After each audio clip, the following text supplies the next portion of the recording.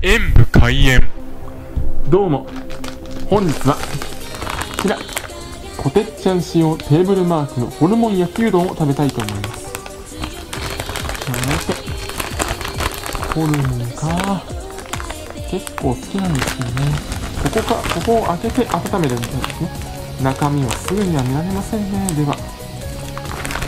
おお開けた瞬間に甘辛い味噌の香りが早くもしてきました。では。温めてきますので少々お待ちください。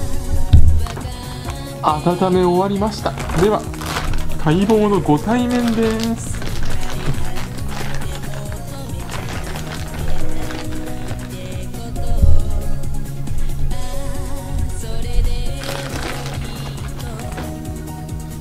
おー。色もいいしすごいすごく美味しそうです。ちょっと絡めて。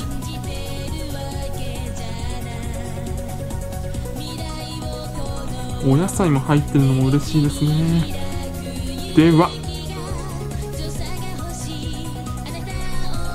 いただきます。名古屋を思い出す味ですね。うわ結構。